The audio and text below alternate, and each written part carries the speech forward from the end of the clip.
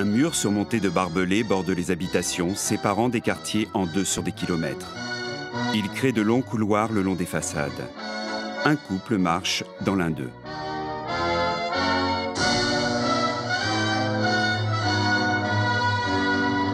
Un champ entouré de barricades s'étend derrière le mur jusqu'à des bâtiments.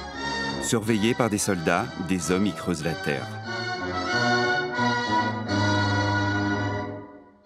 Un jeune brun à casquette approche d'une cavité dans le sol. Il tient une mine cylindrique et plate entre les mains. Il la dépose sur la terre, puis lève la tête. Il observe de l'autre côté du mur une grille qui transporte une nacelle. Le jeune brun regarde sa montre. Il se met à courir vers la nacelle qui est déposée dans le champ. Un garde le vise avec sa mitraillette.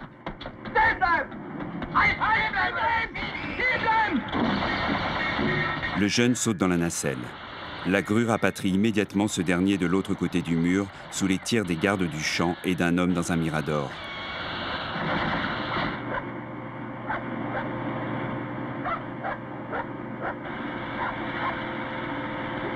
La grue pose son chargement sur un chantier. Le jeune sort de la nacelle souriant. Des hommes présents l'acclament. Le jeune retire sa casquette et l'agite au-dessus de lui. Un homme en costume descend de la grue et le rejoint ainsi qu'un ouvrier.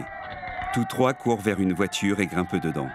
Un châtain à lunettes et au visage allongé les observe depuis un autre véhicule. Il démarre. Le jeune brun et ses deux complices démarrent à leur tour.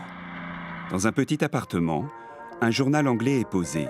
Sur la couverture, un article est titré Rocambolesque évasion de Berlin-Est. Un musicien s'envole vers la liberté.